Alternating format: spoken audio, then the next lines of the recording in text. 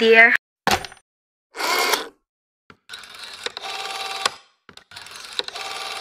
Your call, please. Operator, I've been dialing Murray Hill for 0098 now for the last three quarters of an hour, and the line is always busy. But I don't see how it could busy that long. Will you try it for me, please? Murray Hill for 0098. One moment, please.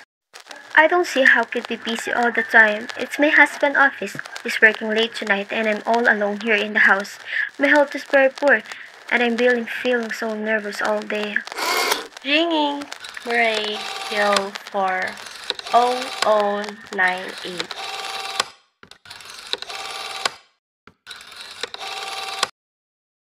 Hello? Hello? Hello? Hello? Hello, hello. Hello. Hello, George? Yes, sir. Hello? Who's this? What number I'm calling, please?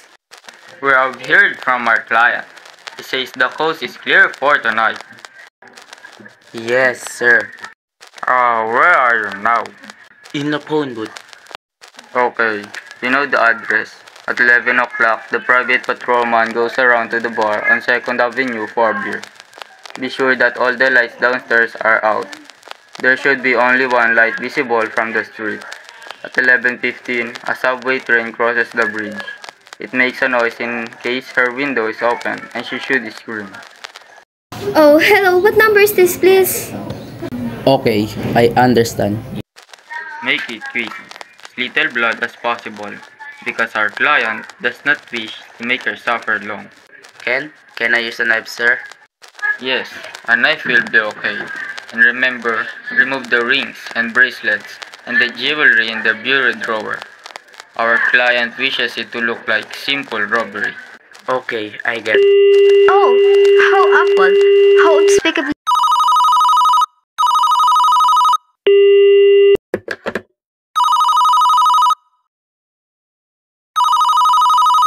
Your call, please. Operator, I, I've just been cut off. I'm sorry, madam. What number were you calling?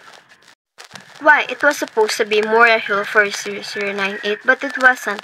Some wires may have crossed. I was cut into a wrong number, and I've just heard the most dreadful thing.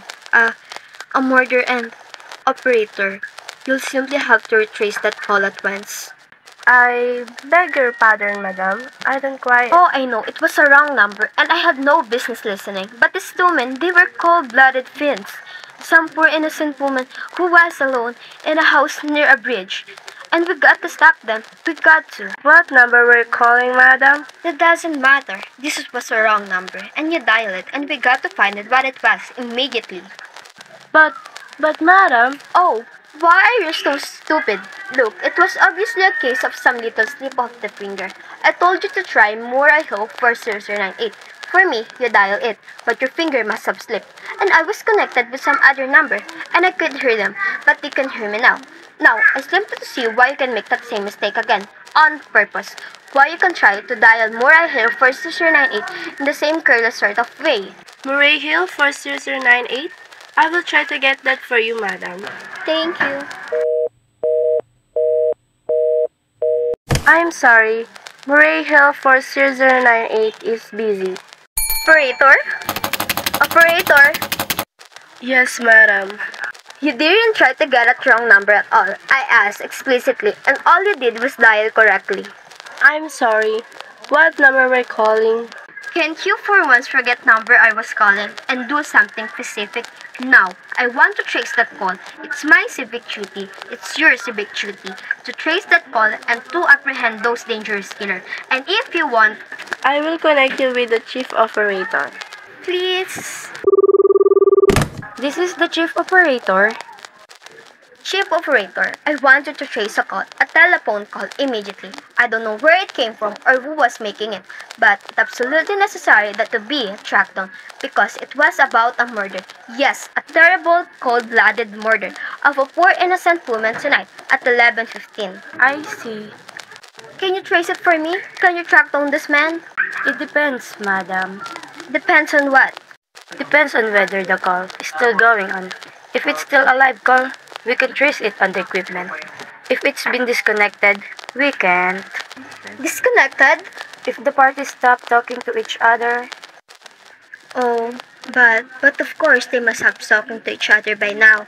That was at least five minutes ago, and they didn't sound like the type who would make a long call. well, I could try tracing it. Now, what is your name, madam? Mrs. Stevenson, Mrs. Albert Stevenson, but Uh-huh. And your telephone number?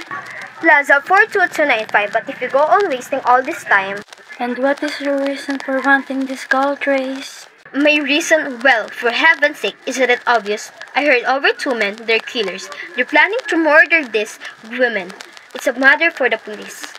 Have you told the police? No, how could I? You're making this check into a private call purely as a private individual? Yes, but meanwhile, Well, Mrs. Stevenson, I seriously doubt whether we could make this check for you at this time just on your say-so. As a private individual, we'd have to have something more official. Oh, for heaven's sake! Oh, you meant to tell me I can even report a murder without getting tied up in all this red tape? Why? It's perfectly idiotic. Alright then, I will call the police. Ridiculous!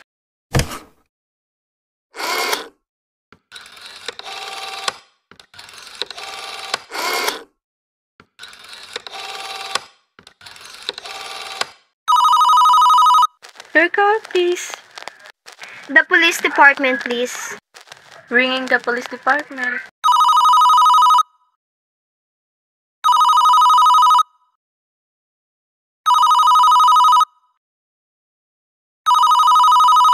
Police Department, Precinct 43, Duffy speaking. Police department, this is Mrs. Stevenson. Mrs. Albert Smythe Stevenson of 53 North Sutton Place. I'm calling to report a murder. Eh? I mean, the murder hasn't been committed yet. I just overheard plans for it over the telephone. Over wrong number that operator gave me. I've been trying to trace down the call myself, but everybody is so stupid, and I guess you're the only person who could do anything. Yes, ma'am. It was a perfectly definite murder. I heard their plans distinctly. Two men were talking and they were going to murder some woman at 11.15 tonight. She lived in a house near a bridge. Yes, ma'am. And there was a private patrolman on the street. He was going to around for robbery on 2nd Avenue. And there was some third man, a client, who was paying to have this poor woman murdered.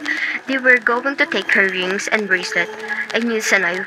Well, it's unnerved me dreadfully, and I'm not well. I see. Uh, when was all this, ma'am? About eight minutes ago. Oh, then you can do something. You do understand. And what is your name, ma'am? Mrs. Stevenson, Mrs. Albert Stevenson. And your address? 53 North Southern Place, that's near a bridge. The Queensboro Bridge. You know, we have a private patrolman on our street. And what was the number we're calling? Murray Hill 4098, but that wasn't the number I overheard. I mean, Murray Hill 4098 is my husband's office. He's working late tonight, and I was trying to reach him to come home. And I'm invalid, you know, and it's the mate's night off, and I hate to be alone. Even though he says I'm perfectly safe as long as I have the telephone right beside my bed. Well, we'll look into it, Mrs. Stevenson, and uh, see if you can check it with the telephone company. But the telephone company said they can check the call if the parties have stopped talking. I've been taking care of that. Oh, yes? Personally, I feel I ought to do something far more immediate and drastic than check the call. But who's checking the call do if they stop talking? By the time we track it down, they already have committed the murder. Oh, we'll take care of it, lady. Don't worry. I'd say the whole thing for a search, a complete and true search of the whole city. I'm buried near a bridge, and I'm not far from 2nd Avenue. And I know I'd feel a whole lot better if you sent a radio car to this neighborhood at once. And what makes you think the murder's going to be committed in your neighborhood, ma'am? Oh, I don't know. This coincidence is so horrible. 2nd Avenue, the patrolman, the bridge. Second Avenue is a long street, ma'am. And do you happen to know how many bridges there are in the city of New York alone? Not to mention Brooklyn, Staten Island, Queens, and the Bronx. And how do you know there isn't some little house out on Staten Island? And some little Second Avenue you've never heard about? How do you know they were even talking about New York at all. But I heard the call on the New York dialing system. How do you know it wasn't a long distance call you overheard? Telephones are funny things. Look, lady, why don't you look at this way?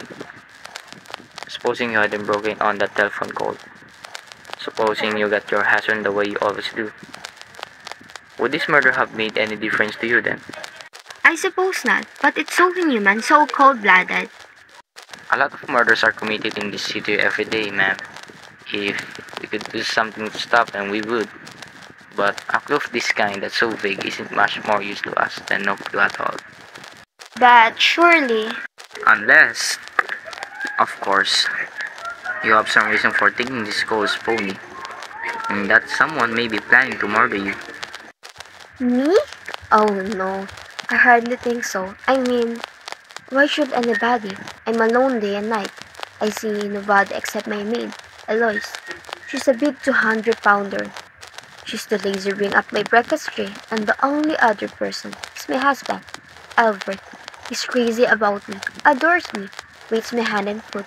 He scarcely left my side since I took sick 12 years ago. Well, then there's nothing for you to worry about, is there? And now, if you'll just leave the rest to us, What will you do? It's so late. It's nearly 11 o'clock. well, take care of it, lady. Will you broadcast it all over the city and send out squads and warrior radio cars to watch out, especially in suspicious neighbors like mine? Lady, I said we'd take care of it. Just now, I've got a couple of other matters here on my desk that require my immediate. Oh! Idiot! Now, why did I do that? Now, you think I'm a fool? Oh, why doesn't Albert come home? Why doesn't he?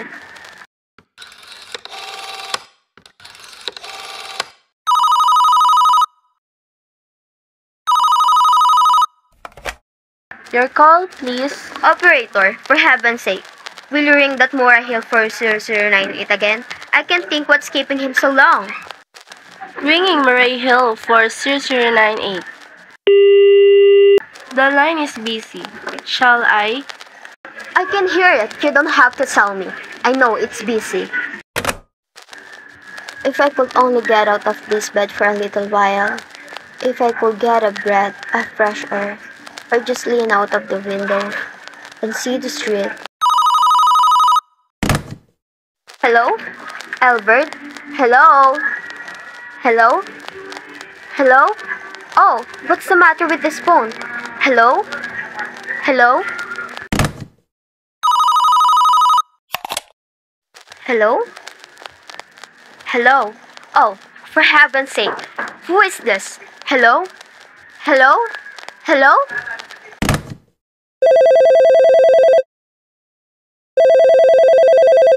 Call, please. Hello, operator. I don't know what's the matter with this telephone tonight, but it's positively driving me crazy. I never such an efficient, miserable service. Now, look, I am invalid, and I'm very nervous, and I am not supposed to be annoyed. But if this keeps on much longer, What seems to be the trouble, madam? well, everything's wrong. The whole world could be murdered. For all you people Kurt. And now my phone keeps ringing.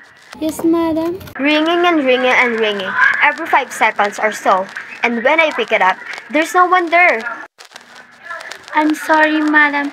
If you will hang up, I will test it for you. I don't want you to test it for me. I want you to put through that call, whatever it is, at once. I am afraid that is not possible, madam. Not possible? And why, may I ask? The system is automatic, madam. If someone is trying to dial a number, there is no way to check whether the call is coming through the system or not, unless the person who is trying to reach you complains to his particular operator. Well, of all the stupid, complicated, and meanwhile, I've got to sit here in my bed, suffering every time that the phone rings. I will try to check it for you, madam. Check it, check it. That's all anybody can do. Of all the stupid, idiotic. Oh, what's the use? Hello? Hello? Stop ringing. Do you hear me? Answer me. What do you want? Do you realize you're driving me crazy? Hello? Is this Plaza 42295? Yes. Yes. This is Plaza 42295. This is Western Union. I have a telegram here for Mrs. Albert Stevenson. Is there anyone there to receive the message? I am Mrs. Stevenson. The telegram is as follows. Mrs. Albert Stevenson, 53 North Sutton Place, New York, New York. Darling, terribly sorry. Tried to get you for last hour, but line busy. Leaving for Boston 11 p.m. Tonight on urgent business. Back tomorrow afternoon. Keep happy. Love, signed, Albert. Oh, no. That is all, madam. Do you wish us to deliver a copy of the message? No. No, thank you. Thank you, madam. Good night. Good night. No, no, it, it isn't true. He can do it. Now when he knows uh, I'll be all alone. It's some trick, some fiendish.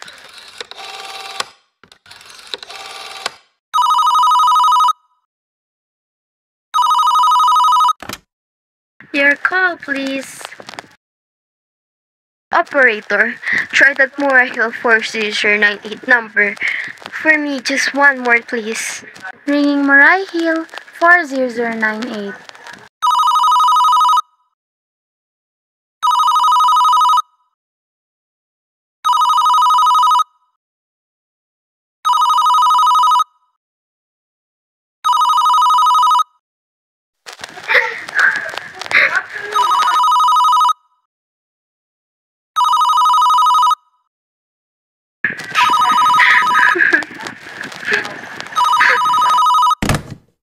He's Oh, Albert, how could you? How could you? But I can't be alone tonight. I can't. If I'm all alone, one more second. I don't care what he says or what the expense is. I'm sick woman. I'm entitled.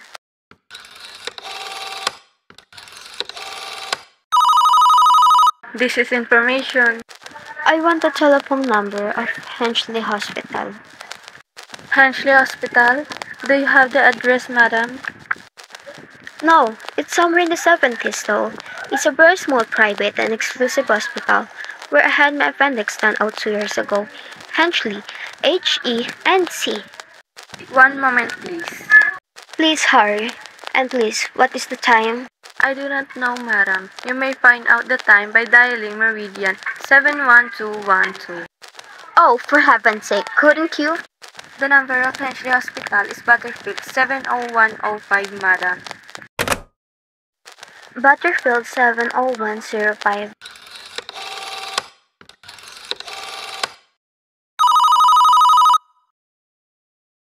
Hanchley Hospital, good evening. Nurses Registry. Who was it you wish to speak to, please? I want the nurses registry at once. I want the trainers. I want to hire her immediately. For the night. I see. And what is the nature of the case, madam? Nerves. I'm very nervous. I need soothing and companionship. My husband is away and I'm. Have you been recommended to us by any doctor in particular, madam? No, but I really don't see why all this catechizing is necessary. I want trainers. I was a patient in your hospital two years ago, and after all, I do expect to pay this person. We quite understand that, madam. But registered nurses are very scarce just now, and our superintendent has asked us to send people out only on cases where the physician in charge feels it is absolutely necessary. Well, it is absolutely necessary. I'm a sick woman, and I, I am very absent, very. I'm alone in this house, and I'm invalid. And tonight, I overheard a telephone conversation that upset me dreadfully about a murder. A poor woman who is going to be murdered at 11.15 tonight. And in fact, if someone doesn't come at once, I'm afraid I'll go out of my mind. I see. Well, I'll speak to Miss Phillips as soon as she comes in. And what is your name, madam? Miss Phillips? And when do you expect her in? I really don't know, madam. She went out to supper at 11 o'clock. 11 o'clock? But it's not 11 yet. Oh, the clock has stopped. I thought it was running down. What time is it? Just 40 minutes past 11. What's that? What was that, madam? That, that click just now, in my own telephone, as though someone had lifted the receiver of the hook of the extension phone downstairs. I didn't hear it, madam. Now, about this. But I did. There's someone in this house, someone downstairs in the kitchen, and they're, and they're listening to me now. They're. I won't pick it up. I won't let them hear me. I'll be quiet, and they think. But if I don't call someone now, while they're still down there, there'll be no time.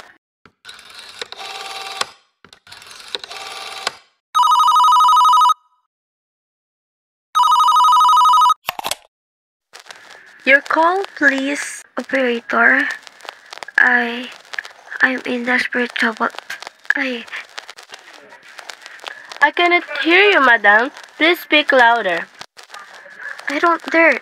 Th- th- There's someone listening. Can you hear me now? Your call, please. What number are you calling, madam?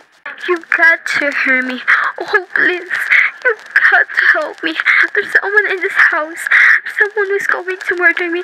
And you gotta touch with a. Oh, there it is. Let's put it down. Please put down the extension. It's coming. It's coming up the upstairs. Give it the police department. The police! Ringing the police department. Oh no, please. Oh no. Please!